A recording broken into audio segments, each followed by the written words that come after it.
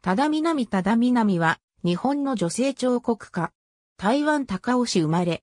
1944年女子美術専門学校師範科、西洋画部卒業。1958年に加点、入選。1960年に加点特選。1962年に、ただ南研究所を設立し、代表に就任。光の反射を用いた抽象的立体、造形作品を制作。アルミニウムを叩き、シワをつけ半球状型に造形した周波数シリーズは代表作。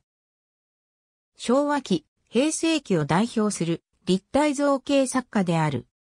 皇居、新宮戸の帝国ホテル、リーガロイヤルホテル、在米日本国大使公邸、外務省飯倉別館、河内長野市庁舎、などの室内、校内装飾や壁面作品を数多く手掛けたほか、立体造形作品を制作した。専門の立体造形の他に、絵画、環境デザイン、工業デザイン、空間デザインでも多くの作品を発表。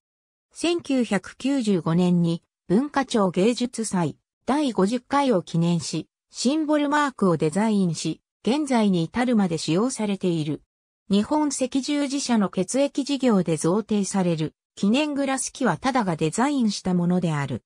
1988年に、紫綬褒章、1994年に国四等、宝冠賞、2012年に女子美術大学より芸術文化の発展に対する貢献で名誉博士号を授与された。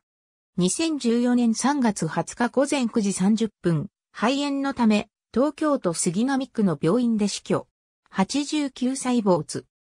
純不動純不動純不動1989、ただ南店長空影、有楽町アートフォーラムにて1991ただ南特別展光の迷宮、渋谷小東美術館、三重県立美術館にて2001から2002ただ南店上り長時空、高尾市立美術館、台北市立美術館にて2009開館40周年、記念、ただ南店光を集める人、箱根彫刻の森美術館にて2010ただ南店、上海ガツコ美術館にて、ありがとうございます。